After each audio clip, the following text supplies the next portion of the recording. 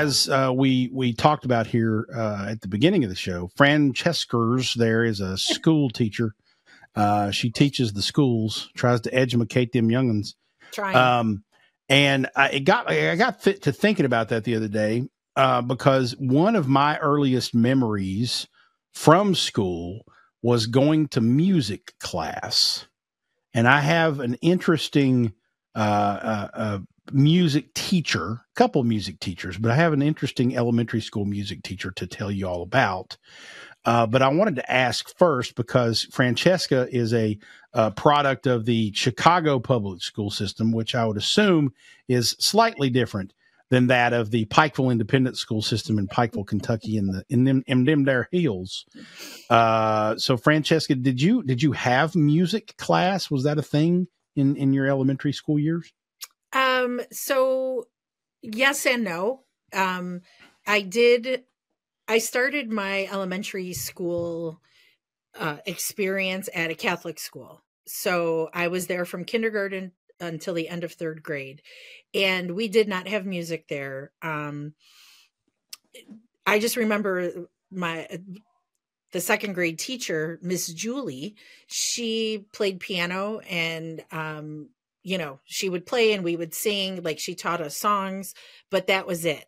Um, and then my parents transferred me into the public school um, to start fourth grade, and um, we did not have music at the public school, but it was it it was a language academy, so it had that going for it, and that's where my love of languages started. So you know, while we didn't have music, it did kind of set me on this path, you know, of one of my passions.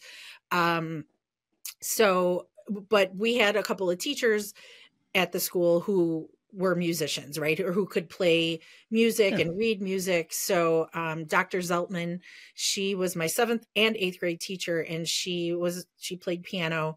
Um, so she would play, we would sing. I mean, we had like school assemblies and performances and stuff. You know, we still got to do that sort of thing, but um, not like every day. We didn't have an organized class. Um, and then when I went to high school, I went to a Catholic high school in Chicago. And while it is, um, it, it, it has a very good arts program.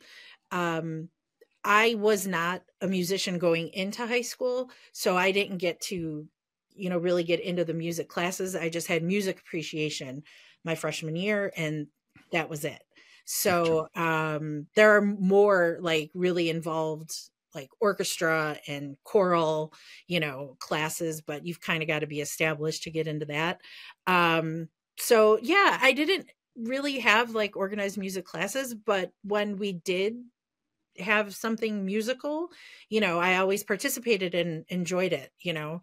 Um, so yeah, it's um I wish more schools were able to mm-hmm. have music programs, you know, not just like once a week sort of thing.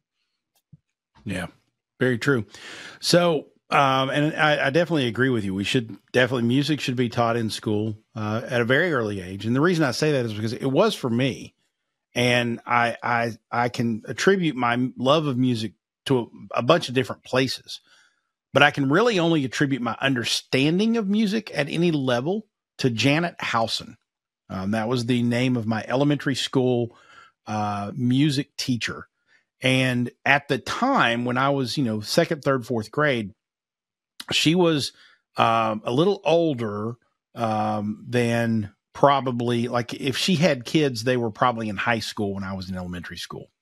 Um, I don't even remember she had kids, but um, at any rate, um, she taught music and she taught music the way that I think people in the 60s and 70s were taught music. You you learn do re mi fa sol la ti yeah. do, and you play the recorder, and you play you get to play the xylophone if you're lucky, and if you're not lucky, they make you play the tambourine, and you know there's all these little roles. But Mrs. Howson was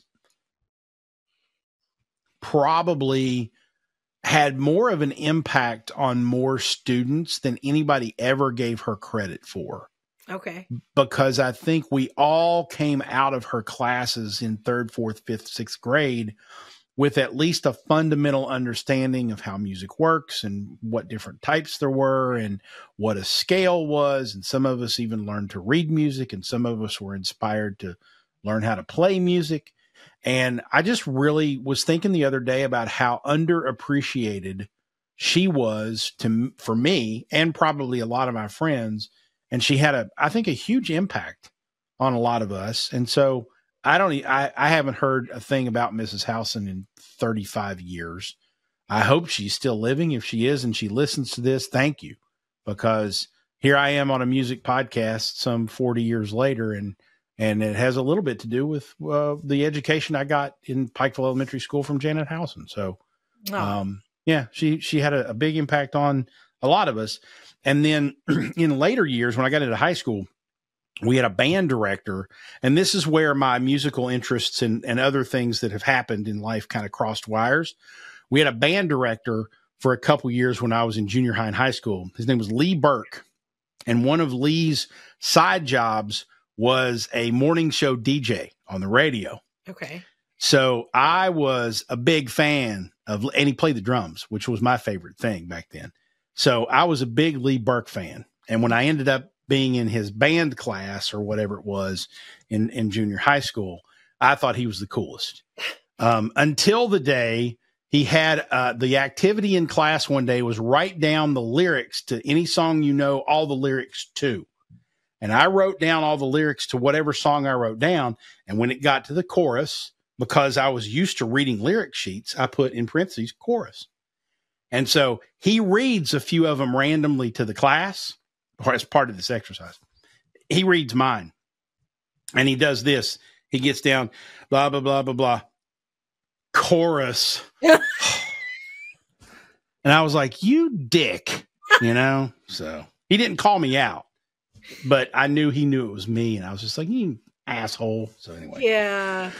But anyway, Lee was Lee was a morning show DJ guy too. Wrote me one of those kind of funny slapstick morning writing comedy bits kind of guys, yeah. and and I always thought he was cool. I went to his senior recital at Pikeville College when he was a percussionist. I was probably six years old or something, and uh, that was he was one of the reasons I got fascinated with the drums. So oh, okay. all these music teachers had a big impact on me, despite the fact that I have absolutely no musical talent, nor could I play anything. I could barely play the drums. I could keep a, a beat, but I wasn't any good. Um, and I just wanted to take a moment to say thanks to the music teachers out there because you, you have a bigger impact than you probably know. So there you go.